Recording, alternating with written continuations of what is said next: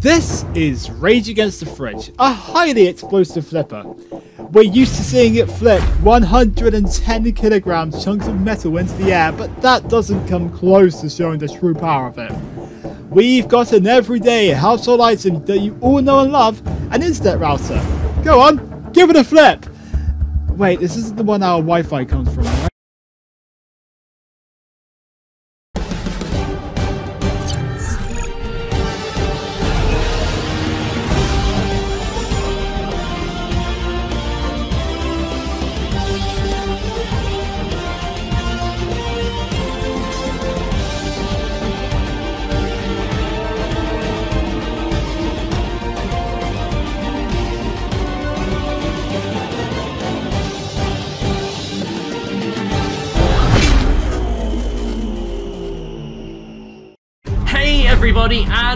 welcome back to Bashbots. I am your host, the Dominus Ignis, and alongside me is our match analyst, the Dan Beaver.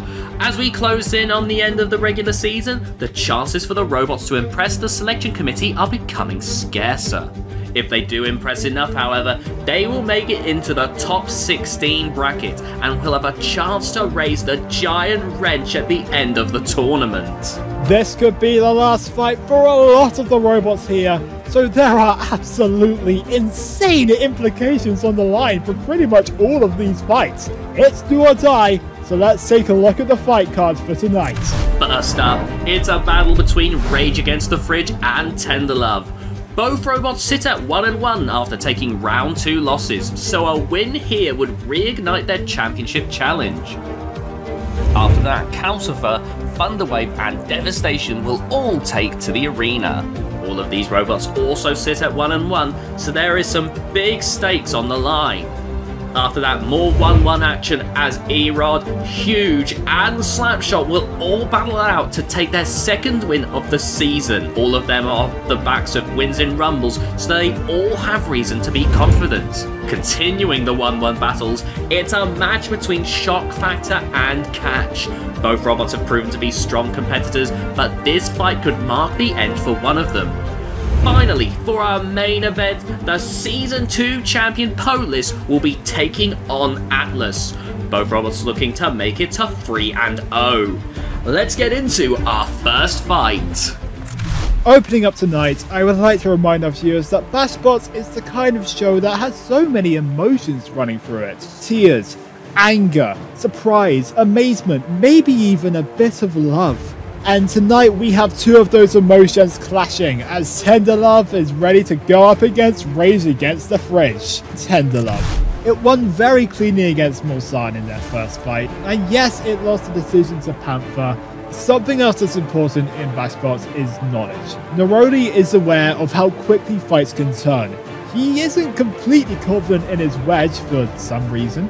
He is going to be careful, um, and that could turn things in tenderlove's favour. I feel Neroli's lack of confidence here could prove to be their undoing. Rage Against the Fridge is able to turn a fight into a victory for them just like that before you even realise it. They're hoping that Tender Love will be an easier fight, and well, if that wedge of Tender Love isn't low enough, it very well could be.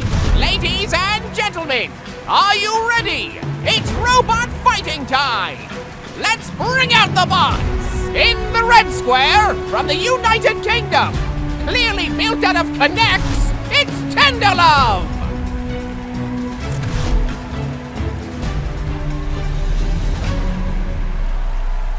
In the blue square, from the UK, I can see the fridge, but the rage is still pending. It's Rage Against the Fridge!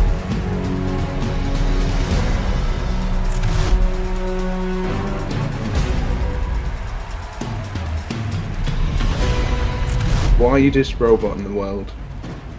In hot flipping action. No chance. No chance.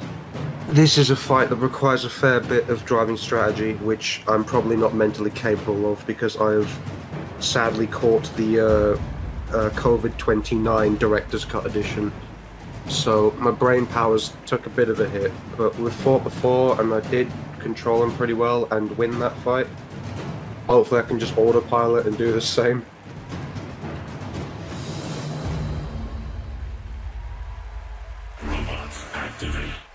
Well, Tenderlove never fails to make it to the later stages of a Bashbots bracket, but after that split decision loss to Panther, another loss here against Rage Against the Fridge could put them out entirely.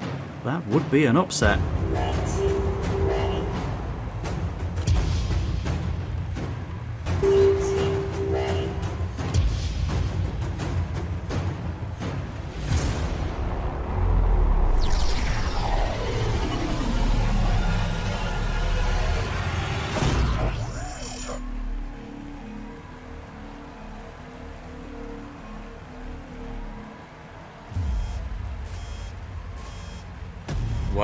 Here we go. And a loss here for Tender Love would mean tender hooks for it going forward. Lost the last fight in a very close one, and the start here is suggesting worry too. Brilliant early onslaught from Rage against the fridge. Yes, certainly Tender Love's builder, captain, and driver was very, very worried about this opponent and does see it as a loss, but also when doesn't he? I think the last time I saw that builder show any sort of confidence will have been, uh, well, never really, but this is a good little recovery after that opening onslaught. The most brilliant bot, but the most underconfident driver of all time, maybe. What can it do here? It has recovered after that interesting start it had, and the brilliant flips from Rage against the fridge. It's a little flick over from the opponent there, and a mistimed flick as Tenderlove tries to reposition itself too. Interesting. Tenderlove, it has a real tendency to get those sharpened forks underneath its opponent, but its side wedgelets often aren't quite the same. They've even improved it this season, putting those bladed wedgelets onto those sides. It still wasn't enough, but that's a oh. brilliant slam into the grinder from Tenderlove. Proper good Tenderlove attack there, what we are used to it from it at its best, and now it sneaks in behind, but Rage against the fridge readjusts really well. Both take a little hit there from the drums at the side of the arena. And that's a really good riposte as well. Okay, so readjustment period as the pit becomes an option. I don't know if either one of these robots will want to risk that, Oh. but the floor flipper will be coming into play quite excellently so. This is a really lively opening fight to this episode. Just over a minute to play. Both have had their moments. Rage Against the Fridge has had the more attacks. Oh. And that's another one in there as the pit is pressed. Will it come into play here? Tenderlove deciding it does want to take that risk, but simply the process of pressing the button is what got it attacked. Will there be regret? Well, we'll wait to see if this match ends with a surprise pitting, and oh, ideally not in the same fashion as its first fight, where Tenderlove itself was pitted, thankfully one second too late, but the Oh. spikes are going to be involved instead. And with 40 seconds to play, it's yet another fight here where Tenderlove is having to sweat it out right till the end. It comes in there and Rage Against the Fridge as it gets flipped by the floor flipper there. And it comes in with another attack. It's going to have to be a late rally here because that's another flip from its opponent. Is Tenderlove on the verge of losing another fight here, maybe? This is a really lively opening fight to this episode. Both have had their moments. Rage Against the Fridge has had the more attacks, and that's another one in there. What on earth is happening in there? There is seconds to play. The control has been decent, but there have been mistakes from both of these two, and especially if you're going to put yourself in that corner against a pneumatic flipper, you don't want to be there. The match will draw to a close. That is a close one. Neither one of these robots will want to fall to 1 and 2, but somebody, unfortunately, will have to. Another nail biting Tenderlove match. Unbelievable. So let's see which of these robots it's going to be. Tenderlove perhaps had more attacks in general, depending on what you count. I would say Rage Against the Fridge had more flips. Tenderlove had more attacks that didn't make use of the weapon. They still did have plenty of fork based attacks. The arena hazards came into play on both machines quite equally, usually by fault of accidental driving rather than an attack. Tenderlove did get them sometimes. The results from the judges are in. We have a unanimous decision. And the winner is. Tender And winning by judges' decision, Tenderlove is now 2 and 1. They're rebounding nicely here, and their chances of getting into the top 16 are looking brighter. However, Rage Against the Fridge's run this season ends here, finishing 1 and 2. Let's head into the next fight. We all know how much you love your Rumbles, right? Well, I'm happy to announce that we have two of them lined up for you tonight, and let's go take a look at the first one. Now, Thunderwave is not that experienced in Rumbles. In fact, this is going to be their first Rumble. However, this weapon is almost tailor made for a situation like this. I mean, imagine it. Calcifer is coming in from the left, Devastation's coming in from the right. It doesn't matter because they'll both still get hit by Thunderwave's devastating weapon. We've already seen Marrow win some Rumbles with some incredibly well controlled driving, and we've seen it win those rumbles very convincingly. I think that alone is a good reason to back it, but also it has a special anti-horizontal plow for this fight. That's huge against something like Thunderwave. We can't discount Devastation. Their exposed wheels do give them a pretty bad disadvantage in a rumble like this. However, Toad believes that they can keep the wheels at bay and the blade pointed towards the robots and with Toad being as skilled as they are, that could very well be possible. Whoever loses this fight is out. Again, the stakes are so high. Let's get down to the arena. Three-way rumbles a new environment for Thunderwave. Usually their seeding carries them into straight head-to-heads. They're going to have to work extra hard to beat these two, if indeed they can.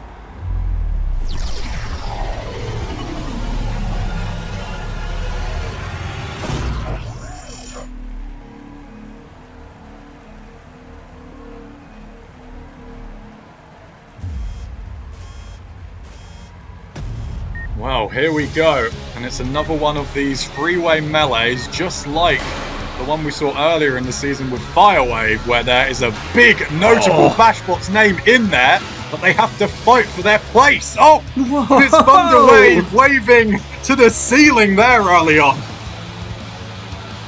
Yes, we've also got the season debut of Devastation over there, the light blue spinner. Their win so far is another one of these rumbles, having originally lost uh, to bad language, but Thunderwave is undeniably the focus of attention here.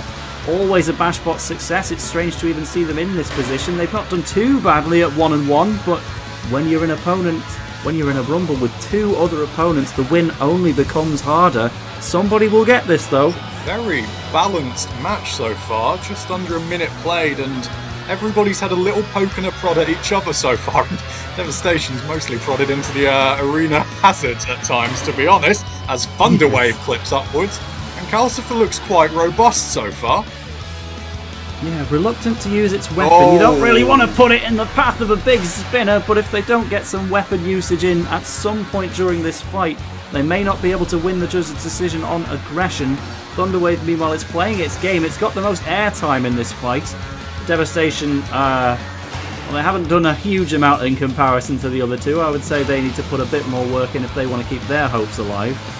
The fight gone as Calcifer gets toppled over by the Arena Hazard. Devastation again is trying to play catch up, but there's some damage. It's nothing amazingly notable, but it is part of Thunderwave's front wedge, and it is the biggest damage we've seen so far. So, is this the start of a comeback from Devastation, maybe? Yes, I told them to make one, and they have really started that one until they go straight headfirst into the wall. A good play from Calcifer to get the pit open. Ooh. That's what they need to do because although they've been perhaps the most controlled robot in the fight, they're still yet to complete even a single weapon-based attack. I'm not sure they can oh win oh this my purely off God. the back of resistance. Everybody well, they've got a lot flying. more to resist all of a sudden. 45 seconds to go. We had a close and tense fight to open the episode. This is close in a chaotic way, and Calcifer is now lining up an unlikely pitting oh. on Thunderwave, and then Devastation comes in with a hit on an overturned Ow. Thunderwave. It's all going off in there. Thunderwave, I'm surprised that self-righting mechanism is still attached after that massive hit from Devastation while Thunderwave was upside down. Maybe that's oh. the reason it's so big. It's invincible. What on earth is happening in there? There is seconds to play. It's been Devastation with the biggest hit but the least control. Thunderwave with the most consistent hits, but a lack of control, and Calcifer with the most control, but no real damage. Who is going to win this one? Can we have a three-way split decision? Can everyone vote for one robot each until they all win? Jesus, that was. That was a crazy fight. Right, so let's review the footage and see what we can possibly come up with off the back of this one. Truly, a three-way split decision would be a first in robot combat history, but we'll see if the judges can get anything decisive out of this. Calcifer the lowest and the most consistent in taking the fight to its opponent, but ultimately the three minutes did elapse. Thunderwave, they got some big hits. Devastation perhaps bigger, but was it enough? The judges' results are in. The winner by unanimous decision is. Calcifer! And Calcifer takes the judge's decision win, moving to a much safer 2-1 and Devastation and shockingly enough, Thunderwave finished their season on a rather disappointing 1 and 2. And now we move on to the next Rumble, and this one is one I'm personally excited about. A Gary's Wars classic in Erod taking the stage. We have Slapshot, who has origins in Robot Arena 2. And finally, from real life, we have Huge, and they're all squaring off in the same arena. Honestly, Beaver, when I saw that this fight was on the cards, I got so excited but Slapshot I think has a lot of potential. Now, while it did lose to Amethyst, it's Amethyst. Let's be honest, you can't really hold a robot losing to Amethyst against it. With Mr. BK having rebuilt the robot, I think that they're ready for this rumble. Huge is definitely a very good pick to win this fight. Yes, it did lose to Rampage all the way back in episode 1, but it showed so much potential with that weapon. It's launched itself high into the air several times. Not to mention, Jonathan is far more familiar with how the robot handles in-game compared to real life. He has been learning throughout this entire tournament, and he has only been becoming more powerful as time goes on. There is always a chance that Erod could win. I mean, it is... It's a thing, alright? It's certainly uh, unique. So, I don't think we should waste any more time, do you? I think we should head on down to the arena and watch what I think could be an exceptional battle here. Uh, yeah, uh, opinion of a professional roboteer. Do you think uh, E-Rod could be done? IRL? I mean, it's a shape that you could make a robot out of, but you'd have to buy a lot of little plastic babies for it. Why are you here, Business Cat? Hi, Coach Jonathan. Well, I think very few would have expected to see Erod get even this far, but they've got the opportunity for a statement win against Huge and Slapshot here, as does everyone else.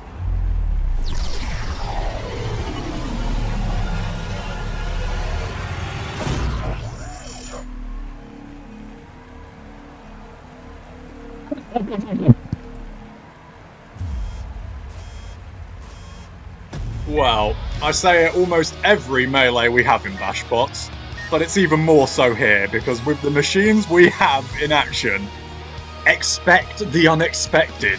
It's huge, Erod and Slapshot. Who will make the first move? And it's Erod that tumbles with the horse stable. Meanwhile, I think it's worth bringing a little bit of attention to Slapshot here. They seem to have attached some kind of golf club onto their lifting weapon. The idea here being to slot it in between the gaps in Huge's wheels and then lift it up with it. The trouble is, the golf club is already gone.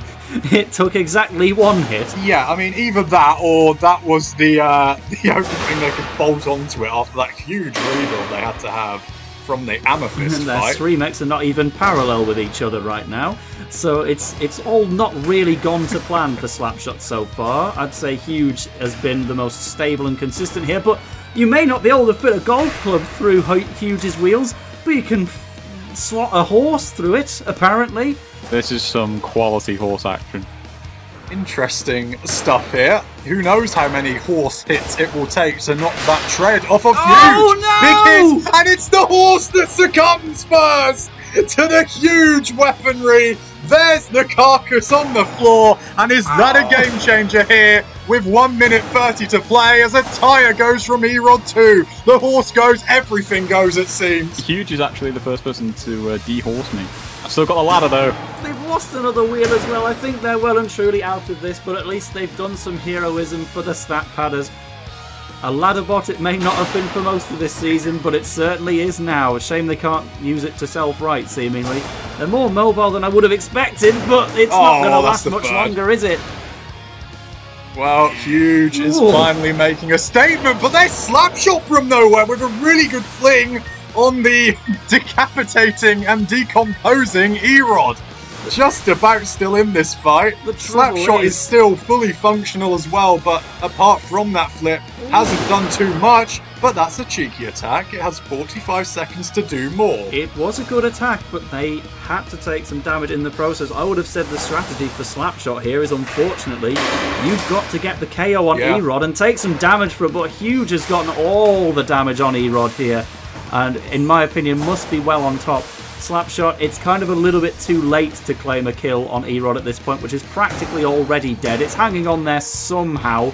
But maybe if they could get Huge into the pit, that would Well, change 20 things. seconds to play, and even Erod was trying to pit Huge there with its one-wheeled wagon. Oh, that was a collision, and Huge oh! nearly went too close to that pit.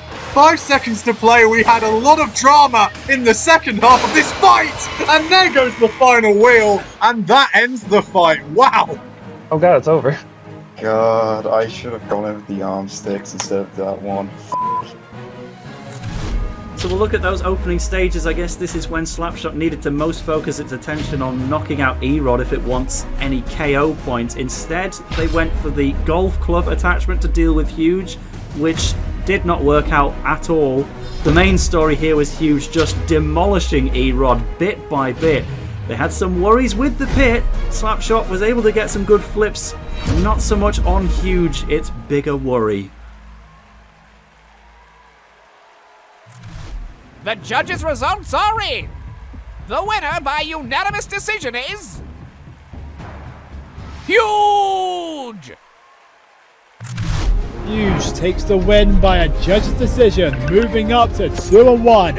Anyway, now we're moving on to the next battle. It's Shock Factor versus Catch. Eddie has built one hell of a robot, and I think it shows now. Catch V4 is the best of all of its previous iterations and more. It's flipped Cyberstorm right out of the arena, it lost a close decision to Atlas in the fight right after. The robot's just such a huge improvement that I think Catch just has the general quality it needs to take the win here. Shock Factor got a pretty good win against Hospice, and its loss was against Polis. So again, I can't hold that against Shock Factor, especially because they put up a pretty good fight. Badnik says that the issues from their first fights have definitely been resolved at this point. So Catch is dealing with Shock Factor at full capacity. Catch, at the very least, is going to have a hell of a fight on its hands. With all this factored in, Shock Factor could end up taking the victory on this one.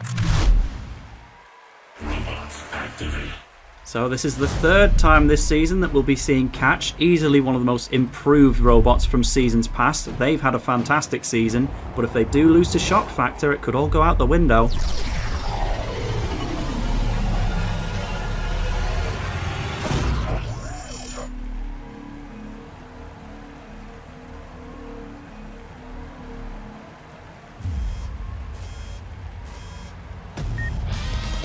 Away we go. Sloped machines on offer here, and machines that have had interesting and encouraging moments already this season as they get to grips with each other in the opening period of the fight. Yes, Shock Factor making its way under those very, very low, scratching flo- fork claws of Catch. But it's ultimately Catch who's going to get some weaponry involved. Shock Factor, I guess they mainly want to get under Catch and keep a hold of it to drive it around the arena. Catch, the game plan is going to be a lot more simple. They may be the favoured one to take this, but Shock Factor, we can't overlook their wins of their own. They did indeed do fairly well against Polis in their only defeat. Yes, and what you see at the moment, these two machines juggling for position is what you'll see for a lot of this fight. It's going to be skidding and steering out there. They're both low, they're both boxy and wide at the same time. And they both have interesting weaponry which they need Whoa! to set up. And although Catch gets a really good flip in, it gets flipped itself by our Arena Arena. Wiener cleaning. and over the front of Catch, Shock Factor will go. I think we're kind of at that point in the fight where we need to see any sort of controlled attack from Shock Factor. They've done some decent wedging, but Catch has done some decent wedging and some good flipping. Oh, this could be more there. like it. That's a little backhanded lift. Yeah, the problem with Shock Factor there, with that backhanded lift, is that Catch can obviously get traction with its rear tyres, but here is an alternative route clamp and drive, and this is a good period of pressure suddenly from Shock Factor. Shock factor increasing indeed. We didn't quite know that they could pull that one off. The pit button is nearby, and I would say it would benefit shock factor a little bit more than catch. Both of them quite equipped to get underneath the other and drive them into that pit. Shock factor may need that extra knockout power. The weapon not the most aggressive, certainly aids in control, but yes, they have gone for that pit. They'll want to clamp down on catch and drag it straight in there. Whilst this fight's gone on, Shock Factor has been working its way underneath Catch more and more. Still only one or two attacks of note from both machines, and it is close and tense, and it could take that hitting opportunity to be the winner here. Really good attack from Catch though. So good at those opportunistic moments this this season. But it's Shock Factor with a clever response. Great varied stuff in the arena here. Once again, pointing those front forks at Shock Factor is genuinely going Oh. to put Catch lower, and that was serving the pancake. Away it goes. Oh, such a thin machine could easily swat down any of those gaps, and they have ah, done. Oh, toppling over in the end. A triple flip from Catch. And the final flip as well. What a fun fight that was. And Catch goes to 2 and 1. I like how even after Sploodle fixed my wedge, it still sucks ass.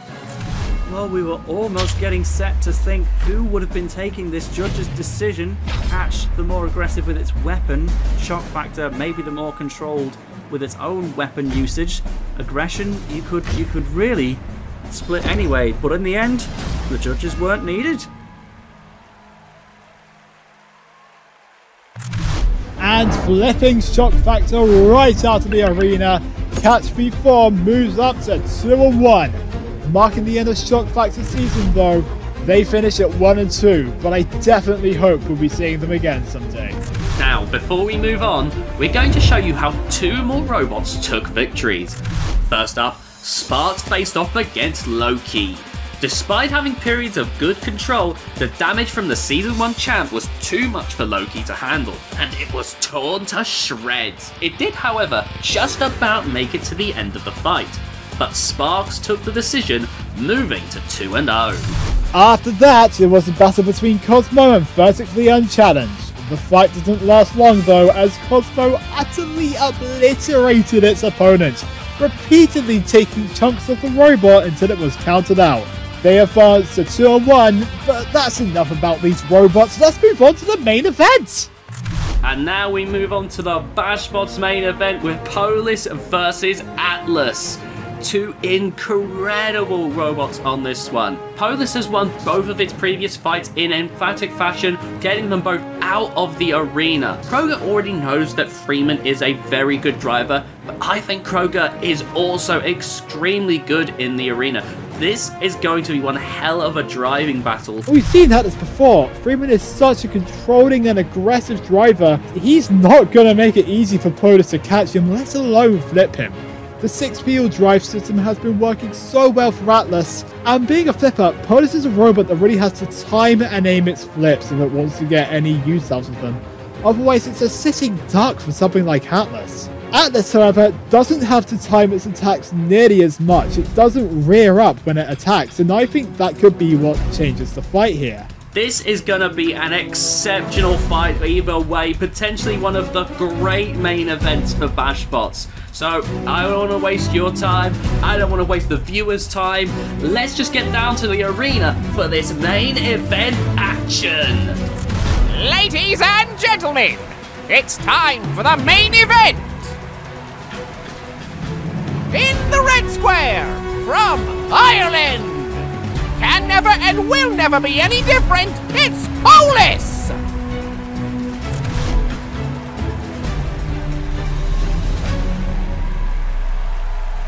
In the blue square from Wales. There's too many vowels in this robot's name for it to be Welsh. It's Atlas!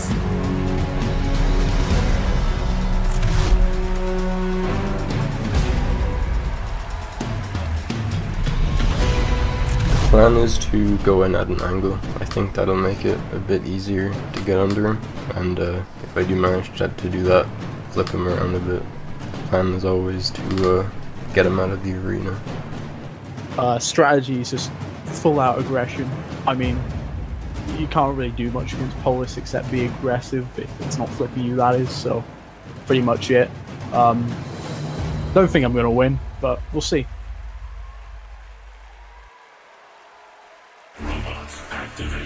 Well, if you're of the opinion that Polis should have beaten Sparks in the previous season, this could have been our third place playoff.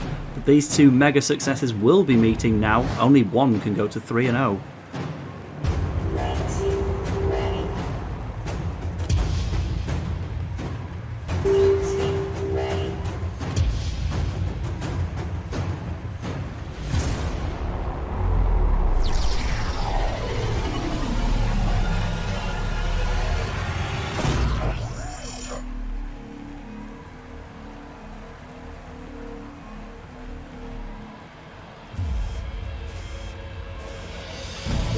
Main event time, and it's a battle definitely fitting of a main event.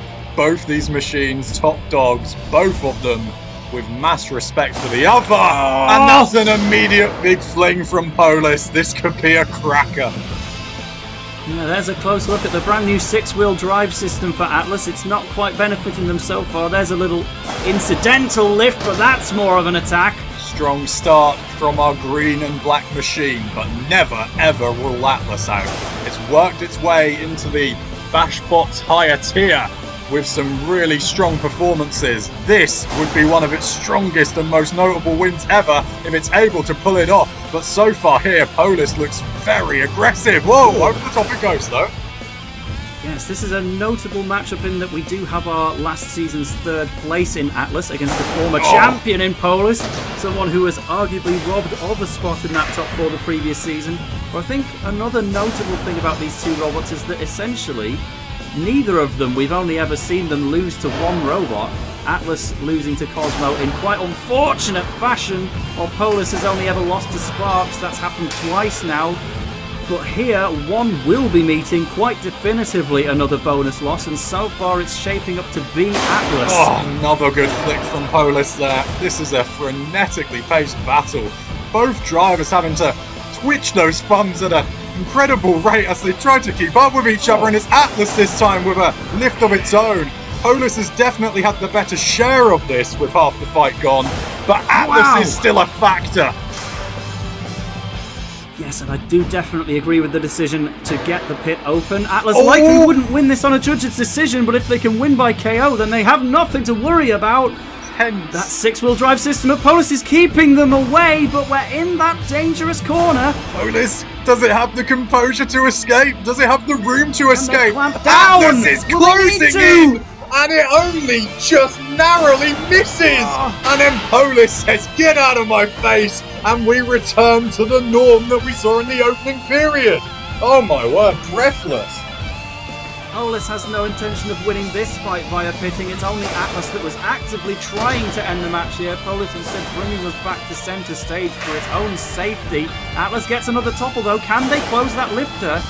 They haven't really used it as a clamp like they could be doing to control this match just that little bit more. Oh, it's been a fantastically enticing driving fight out there. Both machines have had their moments. It's Atlas with another little cheeky lift. And Polis is going up again. It's had the better visual attacks, Polis. Atlas maybe with the more number of lifts in. Will it be enough overall, though? I don't know. That's the end of the fight, and Atlas gets three or four lifts in at the end there. Who knows? Oh, that didn't end well. I, I don't, you had it definitely at the start, but that was so good. we were saying just within the match, these are two robots that we've almost never seen lose. Polis with that decisive loss to Sparks in Season 1 and then a very debatable one in Season 3. Atlas, meanwhile, only losing to Cosmo in uh, very unfortunate accidental circumstances. What we came into this fight looking for was to see the first decisive loss for either of these guys, but instead what we got was one of the closest fights perhaps in Bashbot's history. Who's won this one? I haven't the foggiest idea. That's going to have to come down to our esteemed judging panel. Do you rate the exciting flips of Polis or the controlled, measured pacing of the fight from Atlas? Two completely different styles, but both played so well. The judges' results are in. We have a split decision. And the winner is. Polis! And Polis moves to 3 0, pretty much becoming a lock for the bracket right now, but it's still one more fight to impress the committee even more. As far as main events go, I think that was about as good as they can get. What did you think, Beaver? I think the fight could have gone either way. Both drivers showed spectacular driving skills in that, and they should both be proud of their performances. And I think it goes without saying that Polis, now 3 0, is definitely a contender for a top seeding. Atlas is now 2 and 1 with that loss to Polis, but they should still be in a safe position for the championship if they perform in their next fight. Big picture tonight though, that win for Tenderlove couldn't have come at a better time. Calcifer and Huge both with the wins they needed as well, and Catch looking as deadly as ever with another out of the arena. And with that, another night of destruction comes to a close. With only two nights left in the regular season, things are going to get very interesting. That's all from us here tonight at Bashbot. We thank you very much for watching and we hope you enjoyed the show. Until next time, good night.